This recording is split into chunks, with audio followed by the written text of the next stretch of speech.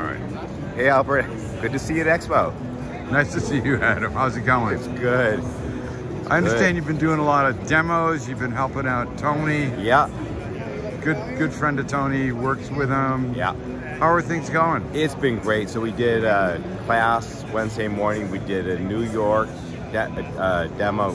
Sorry, it's Thursday and my brain is not working. Somebody Yeah. said that it's really hard to sleep when you're in Vegas. And so you're half awake all the time when you're trying to sleep. And then during the day, it's like you're half asleep. So, and it doesn't average out. It doesn't work out. So today's Yeah. my kind of third day, but it was great. Expo's an awesome. Uh, we, we had the class on Wednesday morning. We did New York with Lee Hunzinger and John Arena. We did a Chicago Thin Crust with Tony Triano and Lenny Rago. Did some stuff at Marra Marra Forni, which was just awesome. Did a there's this awesome Selfish Cow uh, plant-based cheese that we did a demo with. So it was like we're all over the floor, and now I actually get to spend time at the booths and kind That's of That's great. We got a chance to get a chance to Yeah, talk get to, to, see you finally. I saw you in the audience in Yeah. one of them. He gave you a little call out That's there, right, which was great. Yeah. Everybody loves to see Albert. Yeah. hey, tell me a little bit about your own pizza journey, Adam. How did you get involved in doing pizza? Yeah, so I made pizza way back when in the 1970s when I was in college, kind of part time, you know, pay your way through school and all that sort of stuff. And I've always made pizza since then, but I didn't really know what I was doing. And I make bread. I've always been a serious baker. And I thought I can make dough and I can kind of make pizza, but I didn't know what I was doing. And the guy I used to perform with, that was a magician, uh, knew Tony. And he said, I said, can you ask Tony how to make sauce? And next week he comes back with three number 10 cans, Saporito, Alta Cucina, and 7-Eleven. It says, here's how to make sauce for pizza. So I made the sauce for pizza, then I went to say hi to Tony, who I haven't met before. Brought him a loaf of bread, and we started talking about dough formulas and what doughs, what flours do you use? I started talking about central milling, and he uses central milling. And we just started nerding out on dough. And uh, you should come to one of my classes one of these days.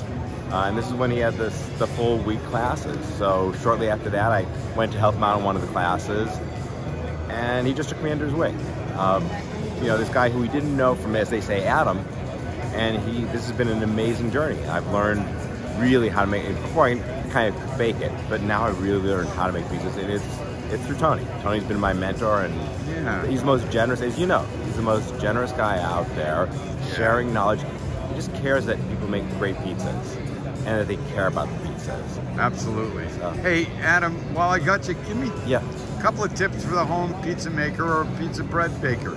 Or Yeah. bread baker, rather. Okay, so well, I would say if you want to make pizza, realize the dough is a critical component, but it's all about balance. It's it's the marrying of the top and the bottom, and your your challenge is a little different. When you're making bread, you're just trying to get a loaf of, of bread baked. When you're making pizza, the bottom and the top have to be cooked at the same time.